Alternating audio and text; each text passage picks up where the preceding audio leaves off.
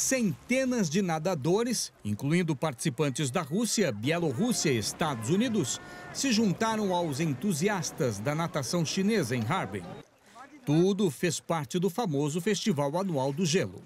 Harbin, na província chinesa de Heilongjiang, é uma das cidades mais frias do país, onde as temperaturas podem cair até 35 graus Celsius abaixo de zero. Nadadores locais disseram que começam a treinar a partir do verão para resistir ao frio. Espectadores vestidos com roupas quentes observavam os nadadores em seus trajes de banho. O festival de um mês atrai milhões de visitantes a cada ano.